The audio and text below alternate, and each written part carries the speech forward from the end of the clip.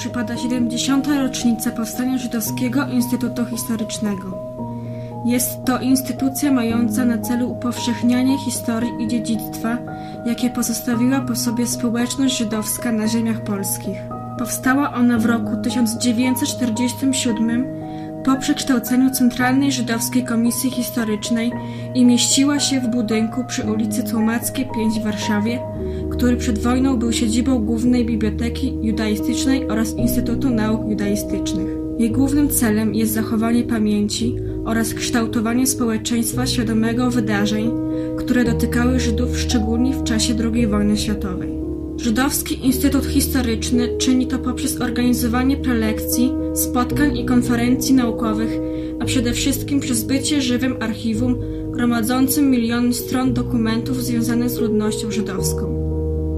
Najcenniejszą częścią zbiorów Instytutu jest podziemne archiwum getta warszawskiego, tak zwane archiwum Ringelbluma. Jest to jedyny na świecie tak unikalny zabytek dokumentujący zagładę Żydów w Polsce. Jego założycielem był historyk dr Emanuel Ringelblum, który w listopadzie 1940 roku podjął się wraz z grupą kilkunastu osób z organizacji Onek Szabat zbierania i dokumentowania losów Żydów w czasie okupacji niemieckiej. Emanuel Ringelblum urodził się 21 listopada 1900 roku w galicyjskim Buczaczu. Bardzo aktywnie uczestniczył w życiu społeczności żydowskiej w Polsce. Angażował się przede wszystkim w działania mające na celu rozwój żydowskich nauk historycznych oraz zwiększenie świadomości historycznej polskich Żydów.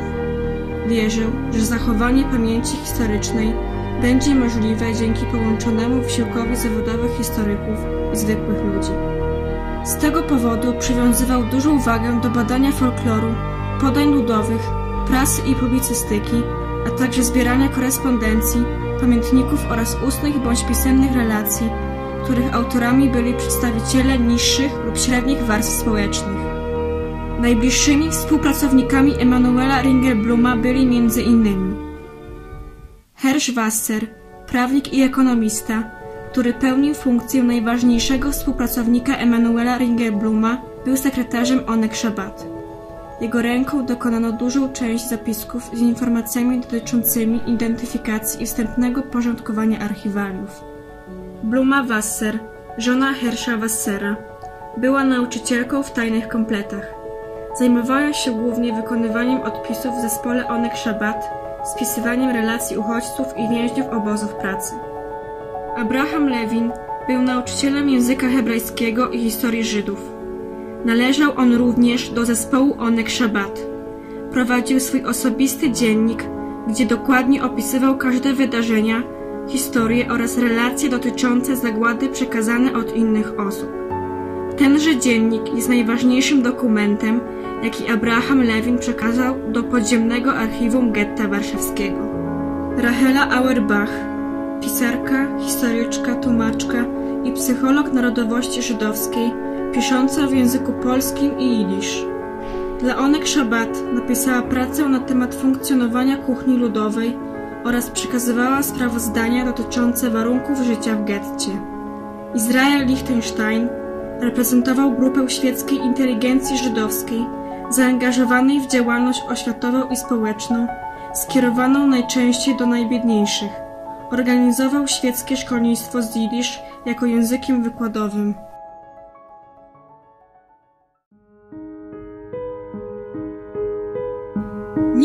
Mówiłby dzisiaj o archiwum Ringelbluma, odnalezionym w gruzach warszawskiego getta w 1946 i 1950 roku, gdyby nie ciężka praca i zaangażowanie Izraela Liechtensteina oraz jego dwóch uczniów, 19-letniego Dawida Grabera i 18-letniego Nahuma Grzywacza.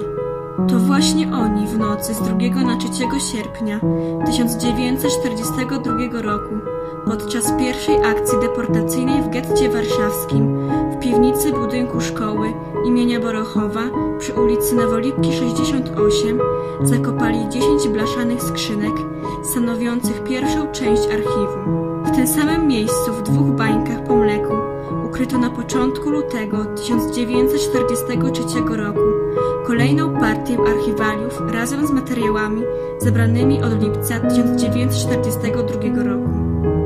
Dawid Graber urodził się 22 maja 1923 roku, a od 1933 był uczniem szkoły Borochowa.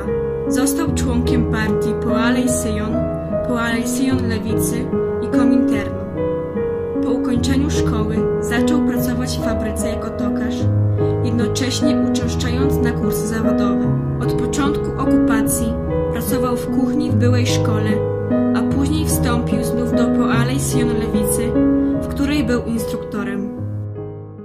Piszę mój testament w czasie przesiedlania warszawskich Żydów. Trwa ono bez przerwy od 20 lipca. Teraz, kiedy to piszę, nie można wysadzić nosa na ulicę. Również w mieszkaniach nie można być pewnym. Jest jedenasty dzień tego strasznego procederu. Już prawie straciliśmy kontakt z innymi towarzyszami. Każdy działa na własną rękę. Zostaliśmy we trójkę. Towarzysz Liechtenstein, Grzywacz i ja. Postanowiliśmy napisać testamenty, zebrać trochę materiału z akcji przesiedleńczej i to zakopać. Musimy się spieszyć, bo nie jesteśmy pewni godziny. Wczoraj pracowaliśmy przy tym do późna w nocy. Nie baliśmy się ryzyka.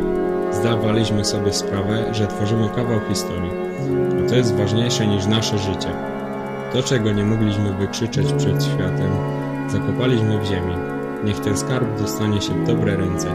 Niech dożyje lepszych czasów. Niech zaalarmuje świat. Nahum Grzywacz urodził się 28 października 1924 roku w Warszawie przy ulicy Gęsiej 87. Od 11 roku życia rozpoczął naukę w szkole Borochowa. Z powodów materialnych musiał przerwać naukę w szkole i rozpoczął pracę w warsztacie krawieckim. Nahum wstąpił do Jungbor jeszcze przed wojną, a w czasie okupacji pracował w kuchni dla dzieci, która powstała przy klubie organizacji. Byłem jednym z tych, którzy zakopali skarb. W dniach, kiedy zabijano dziesiątki ludzi za różne przewinienia, kopałem i schowałem ten materiał, abyście się dowiedzieli o cierpieniach i mordowaniu przez hitlerowską tyranię. Piszę mój testament w czasie, który tu opisałem. Siedzę i czekam. Straciliśmy kontakt z wszystkimi naszymi kolegami. Każdy działa na własną rękę, po żydowskim getcie panuje chaos. Ja, towarzysz Liechtenstein i Graber postanowiliśmy, że właśnie w takim czasie opiszemy obecne wydarzenia i zaczęliśmy to robić. Wczoraj siedzieliśmy do późna w nocy, bo nie wiedzieliśmy, że dożyjemy do dzisiaj, 3 sierpnia 1942 roku. 10 minut po pół do drugiej kończę moje pisanie. My nie chcemy przeżyć z powodu naszych prywatnych spraw, ale dla zaalarmowania świata. Genia Silkes, dyrektorka podziemnej szkoły w getcie i nauczycielka w szkole Borochowa powiedziała Za każdym razem, gdy czytam zapiski ich notatników, rośnie we mnie duma, że miałam przywilej być ich nauczycielką. Z nieopisanym bólem serca utrzymuję przy życiu ich święte, niezapomniane najdroższe imiona. Niech będą dla nas wiecznie bijącym płomieniem życia. Po czterech latach dokumenty zostały znalezione. Teraz stanowią one cenne źródło wiedzy oraz są przedmiotem badań wielu naukowców z całego świata. Dzięki tym strażnikom historii ten cenny skarb możemy podziwiać dziś w budynku, gdzie kiedyś Emanuel Ringelblum spotkał się ze swoim zespołem, aby ocalić historię dla potomnych.